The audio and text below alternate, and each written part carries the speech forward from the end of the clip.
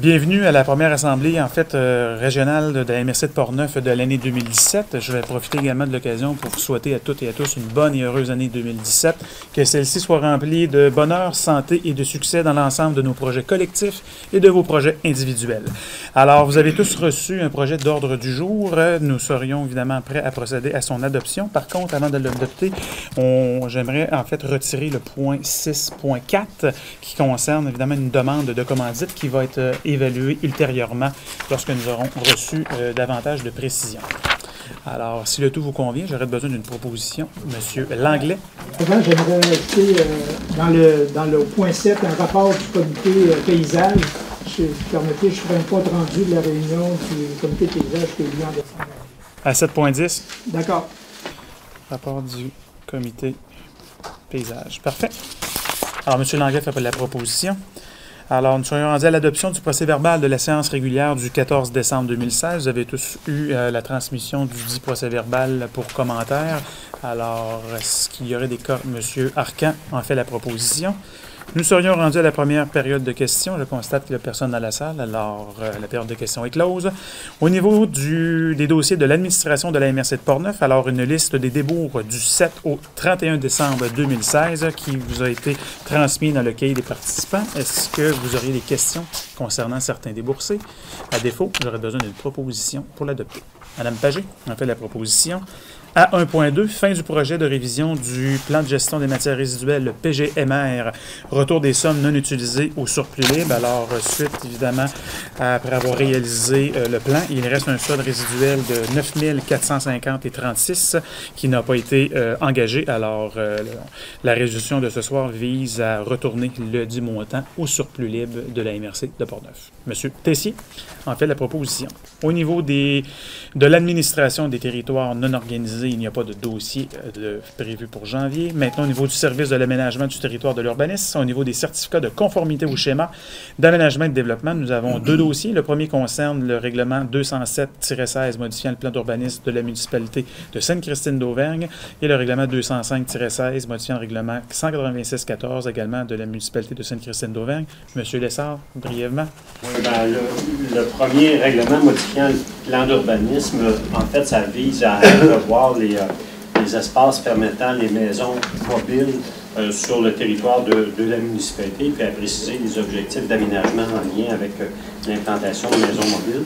Et le deuxième règlement est un peu en lien avec ça aussi, et ça vise à revoir les, zones, le zonage dans un secteur de la municipalité, notamment concernant, en créant une zone spécifique pour permettre l'implantation de, maisons mobiles. Donc, l'analyse révèle que les deux règlements sont conformes aux exigences du schéma d'aménagement et on recommande d'autoriser la délivrance des certificats de conformité. J'aurais besoin d'une proposition. Monsieur Denis en fait la proposition. À 3.2, adoption du règlement numéro 374, modifiant le règlement numéro 324 et d'applicant les modalités d'une demande d'aide financière admissible au budget d'aménagement et d'entretien des cours d'eau de la MRC de Portneuf. Alors, essentiellement, on a en fait la MRC adopté il y a quelques années un règlement qui vise à permettre d'octroyer certaines subventions à des particuliers qui réalisent des travaux euh, dans les cours d'eau pour, euh, évidemment, le bénéfice des propriétaires en aval ou soit en amont. Et euh, la commission d'environnement s'est réunie au mois de décembre dernier pour analyser une modification qui permettrait euh, non seulement aux particuliers de pouvoir procéder à des dépôts de demande, mais également aux entreprises. Alors, euh, ça a été discuté en fait en comité de travail et puis il y avait en fait un consensus à aller de l'avant. Donc, ce soir, c'est l'adoption du règlement comme tel qui va prévoir l'octroi de subventions à des entreprises qui en font la demande. Monsieur Léveillé? En fait la proposition.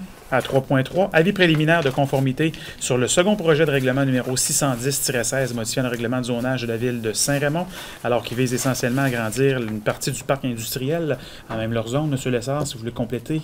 Oui, ben, essentiellement, le projet de règlement, ça, ça, vise à agrandir une zone industrielle qui correspond à une entreprise déjà, euh, déjà existante euh, sur le territoire de, de Saint-Raymond, donc c'est Machinerie de Saint-Raymond. Euh, donc, euh, et l'avis préliminaire de conformité, dans le fond, ça vise à, rendre recevable euh, une demande d'autorisation auprès de la Commission de protection du territoire agricole.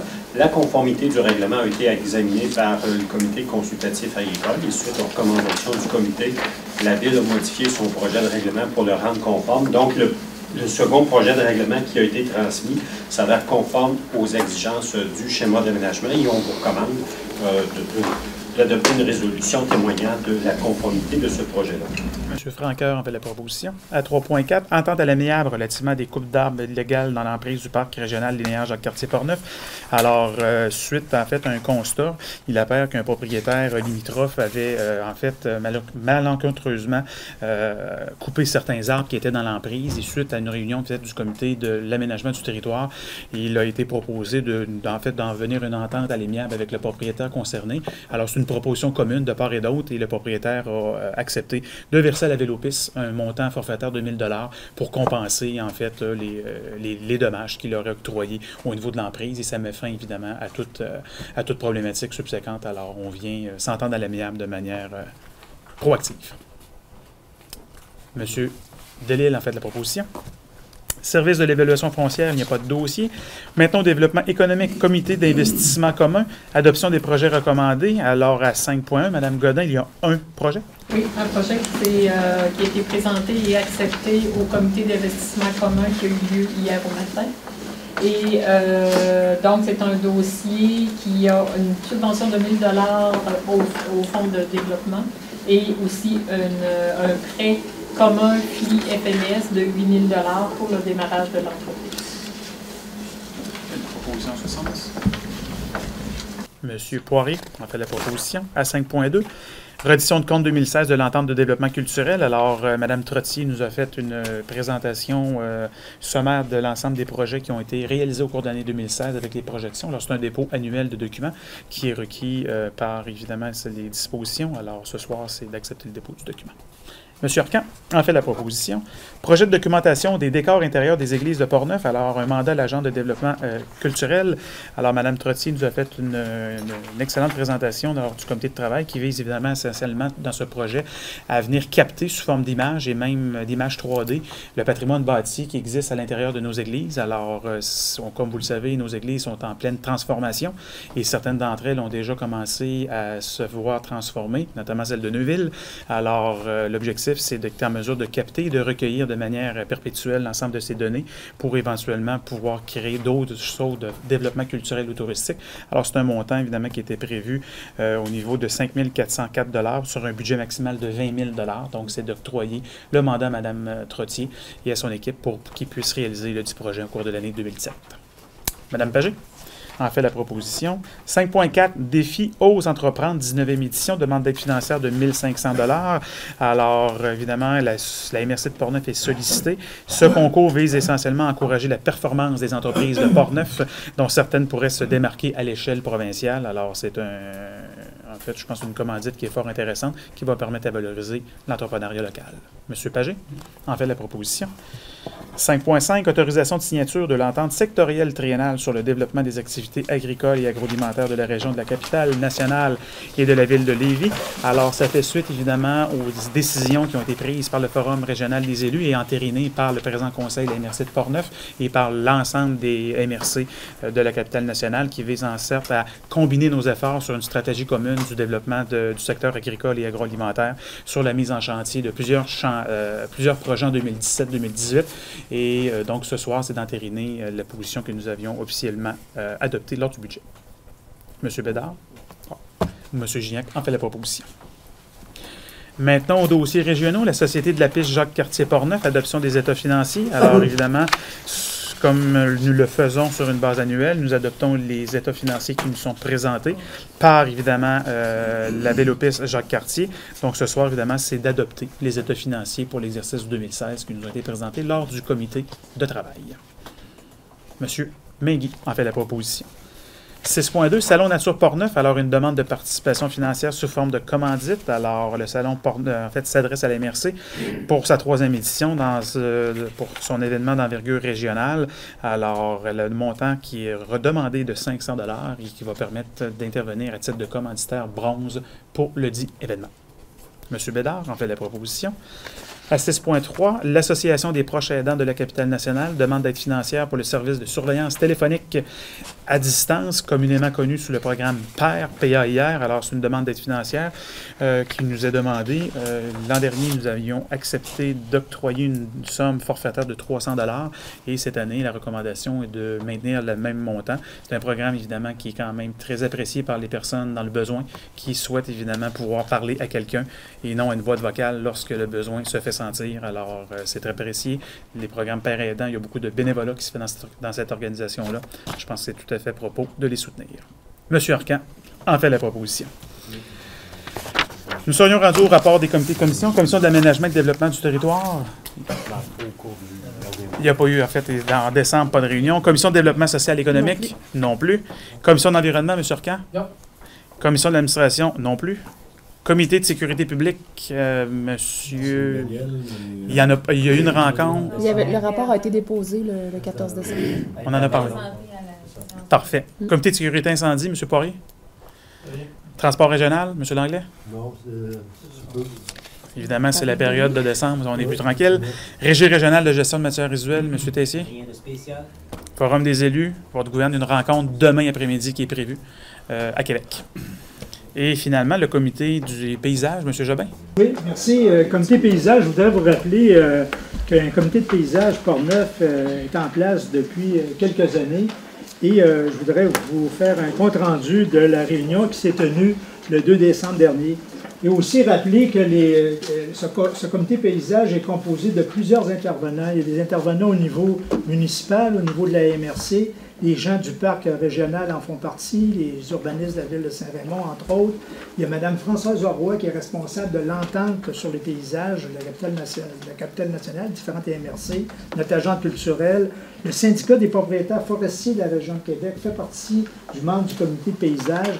Aussi la table de concertation culture, les gens de la vallée du Bras-du-Nord, des membres, le représentant de l'UPA, du MAPAC et euh, des municipalités des Chambeaux-Grondines. Et prochainement, j'ai eu une confirmation de la part de, de Hydro-Québec, les relations avec le milieu. Il, va y avoir Mme Colette Lette-Racine, qui, euh, qui est du milieu des relations avec le milieu municipal, qui va maintenant siéger au comité de paysage. Alors, le 2 décembre, s'est tenue euh, cette rencontre euh, et euh, c'était l'occasion pour Mme Françoise Roy, qui est le chargé de projet de l'entente paysage, de faire part de l'entente paysage qui s'est conclue euh, euh, au, début de l'hiver, je crois, l'automne dernier.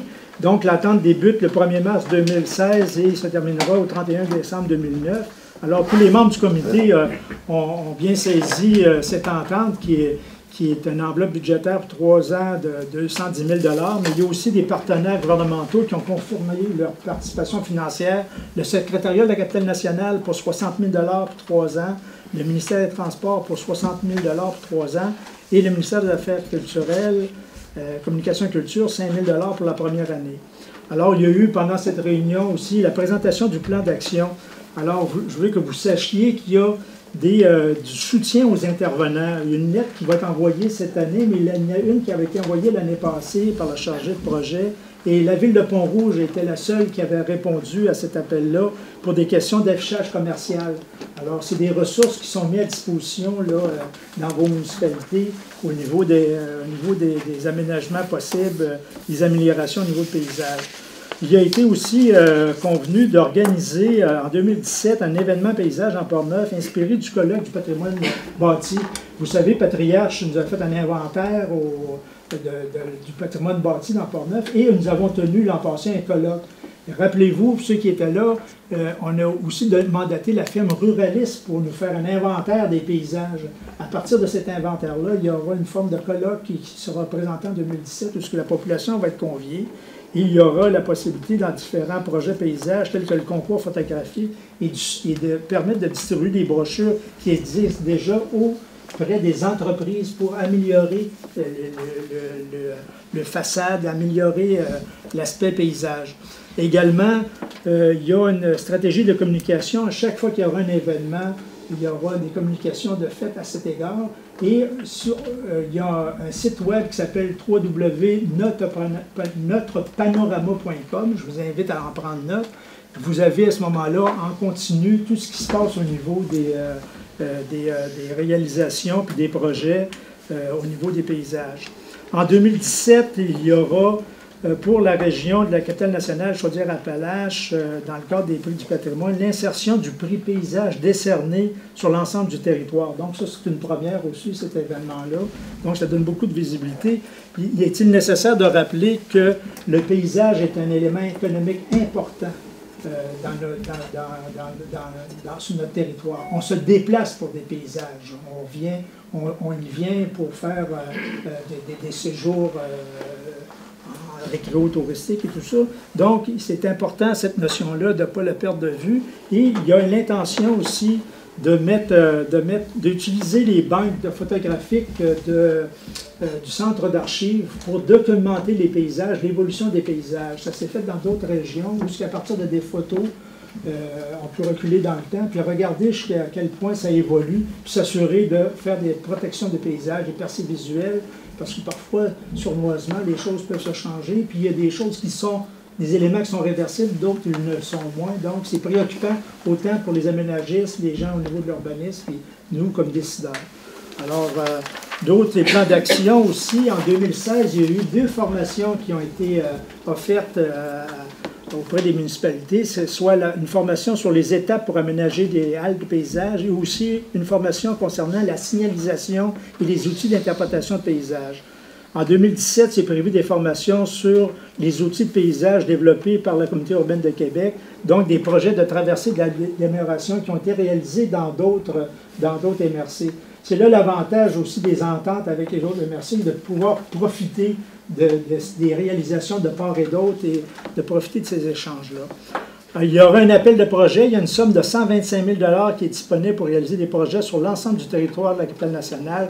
Il y aura évidemment l'application d'un principe d'équité pour les cinq MRC, ce qui signifie environ un 24 000 accordés par MRC pour la réaliser des projets. Donc, voici en gros un compte-rendu là, du comité paysage. Et euh, je vous remercie de votre attention. Merci, Denis. Affaires nouvelles et intervention des représentants? Madame Pagé? Oui. Donc, euh, chers Pornevois, chers Pornevois, chers collègues, à la séance mois dernier, vous avez sans doute pu constater mon enthousiasme tout à fait débordant vis-à-vis le lancement des festivités du 350e. Alors, je vous laisse imaginer ce soir mon degré d'enthousiasme à deux jours du début des festivités. Donc, je vous fais un bref rappel. Vous êtes tous chaleureusement invités euh, au spectacle de Nicolas Pellerin et des Grands Hurleurs qui aura lieu ce vendredi à Neuville, donc le 20 janvier à 19h30, dans le stationnement de l'église. Euh, le spectacle va se dérouler sous un chapiteau chauffé. Et je tiens à préciser qu'il est gratuit pour tous, donc c'est important à savoir. Donc, euh, préparez-vous à vivre une soirée tout à fait mémorable à Neuville ce vendredi. Et ce samedi, le 21 janvier, euh, à compter de 13h, il va y avoir toutes sortes d'activités familiales à l'extérieur, sur le terrain de la ville à Neuville. Donc, je vous invite à consulter la programmation sur le site Internet de la ville de Neuville.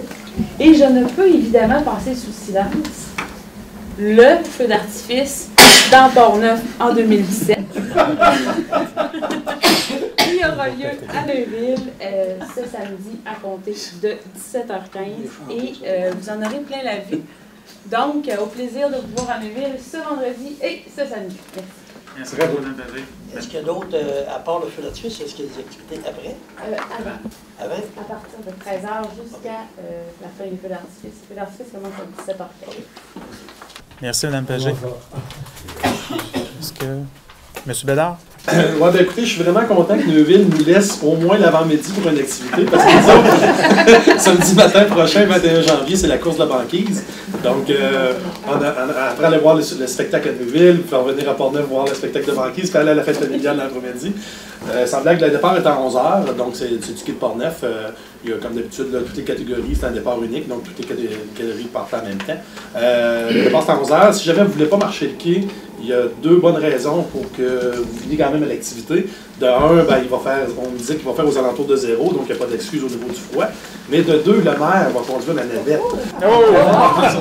donc, donc, moins vendeur Ouais, non, non, donc, S'il avait marché, il aurait compris. donc, c'est un rendez-vous ce samedi entre les festivités. Merci, Nelson. Est-ce que d'autres interventions? J'ai M. Langlais. Bonjour tout le monde, euh, bonne heureuse année aux citoyens de Pont-Rouge et de la MRC aussi. Juste une petite information à savoir qu'à partir du 3 février, les gens qui vont vouloir se rendre à l'hôtel de ville de Pont-Rouge, ça va être au 589 du pont, l'ancien couvent. On déménage le 3 février, ça veut dire que vers le 4 ou le 5, ça va faire à l'hôtel de ville, ça va être au 589 du pont. On peut dire que le projet s'est réalisé là, euh, dans, les temps, dans les temps prévus et aussi dans les coûts prévus aussi. Merci, bonne heureuse année tout le monde encore une fois. Merci, M. Langlais. Ça complète les interventions. Alors, seconde période de questions. Personne dans la salle. J'aurais besoin d'une proposition pour lever l'Assemblée. Monsieur Denis. Alors, bonne fin de soirée à tous. Merci.